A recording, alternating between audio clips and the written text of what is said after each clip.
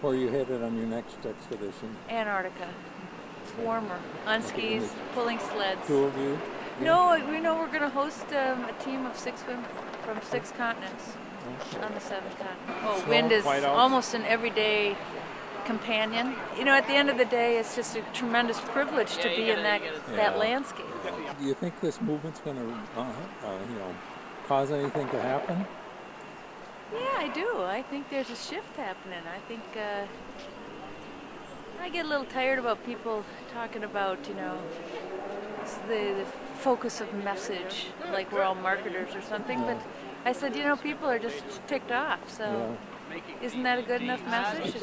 And I love it that people are coming from all sorts of places. Ann has been uh, to both the Arctic and the Antarctic, as you know, in 86, right?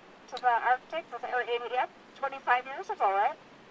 And uh, to the Antarctic two times, three times, right? And has another trip planned. We'll be down there in exactly one year. So maybe we'll still be here in a year. What do you think? Uh, Sarah asked if I would come and talk about staying warm.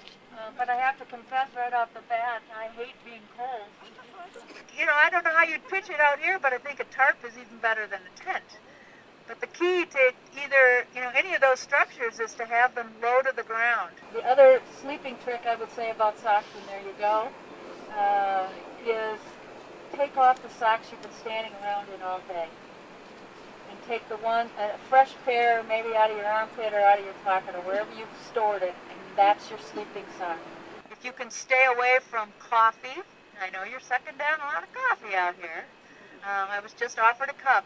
Uh, the diuretics, not great for the circulation. I have been known to peel back a stick of butter and eat it like a Snickers bar.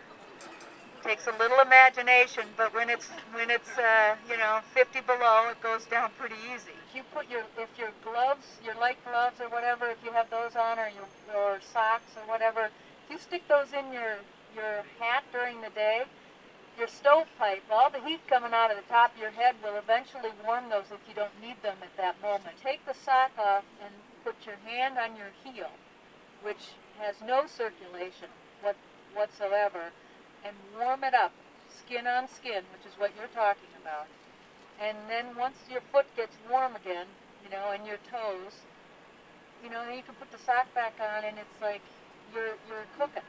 If you use a fiber fill bag, um, you know, they're oftentimes not quite as warm, but they they will function when they're wet, um, and you will get wet. And I think, and you're also, you know, you're also getting the bag wet from the inside because of you. I think we give off about a pint and a half of moisture a night.